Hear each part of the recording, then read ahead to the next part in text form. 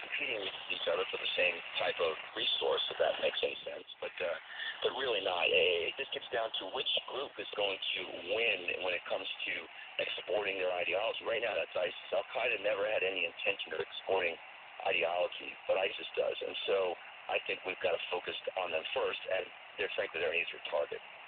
Okay, but we can just speak generally Islamic fundamentalists, radical fundamentalists. Anyway, we can get these uh, groups to fight each other to the death and leave the rest of us alone.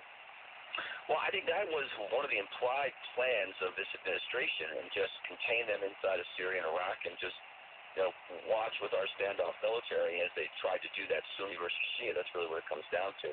Um, but this is for, this is more than that. This is Islamic fundamentalistic terrorism, not just uh, this war of religion. So I, I think that um, that's just no longer going to work. I, I think we've got to go after ISIS where it holds land, where it sits inside of Syria in order to uh, prevent them from having this, this means to do what they're doing, bringing people in there to train, send them back to Europe, and the same thing with their exportation of uh, their ideology. But even more than having an operational base, it, it matters that they hold that land for uh, reasons of their legitimacy as a caliphate. Can you help people understand that? Right. So it, it creates a, exactly legitimacy as a nation state, and we do pretty well when we go to wars against nation states, which, which again I don't understand. So, um, uh, so why we're not going after them? And and um, they charge taxes, and they run government services, they run the water plant. So you know they have, they have all the bureaucracies that the rest of us uh, are used to here. So I don't, you know, we we don't we have an administrator that doesn't want to get involved with this.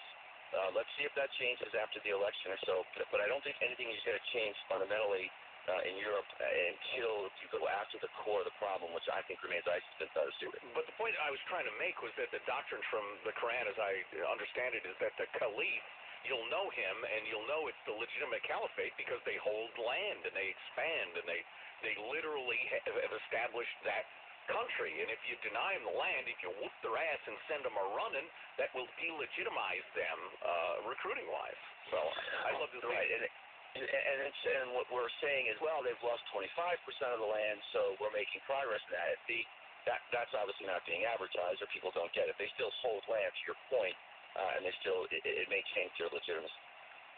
Attacks in Europe than in the United States. What is different about Europe from the United States? Is it something they're doing politically? Is it the proximity? Is it the number of Muslims they have in their countries compared to us?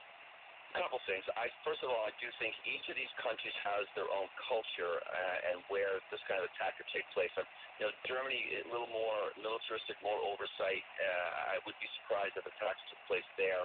Um, Belgium doesn't surprise me. It's, it was just kind of the, the bedroom community for these terrorist groups that attacked inside of Paris. There's virtually no border control between these European countries. So Belgium, out of all of them, has the most lax in oversight security. And, and the terrorists go where they can operate with the most freedom. And, and clearly that's, uh, that's why they're attacking back at Belgium now. And they uh, almost always blend into large Muslim populations just because they don't stand out, I suppose. It's just Right, and this is the issue about bringing on uh, these uh, refugees coming from the Middle East, and this is the, the, the challenge that these countries have on vetting them out and making sure uh, that they're there to assimilate. That, that's, that's what's not people aren't talking about right now is this assimilation concept. Um, you know, you go, I've lived in Germany. I understand Germans don't want the Turks coming there and assimilating, and I don't see how they want the people from Syria coming in to assimilate. So uh, they wall them off. They put them in put them in these different communities, but they keep their eye on them very closely. Huh. Interesting. Hey, just real quickly. Well, real quickly. What would